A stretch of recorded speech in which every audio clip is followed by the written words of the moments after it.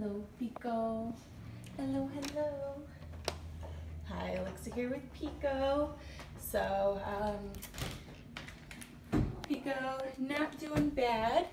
Um, we did weigh him today and he's down a little bit in weight, um, about five and a half ounces. But as you can see, he finished his wet food this morning, which is excellent. He hadn't really been finishing it the last uh, day or so. And we did give him a bowl of dry just to keep in his room. And he started nibbling that. So we're not too worried. We'll keep an eye on his weight. But um, he did poop today as well. So hi, thank you. Very sweet. so yeah, keep you updated. But um, the fact that he finished his wet food this morning is a great, great sign. Kitty mail. Thank you, Pico.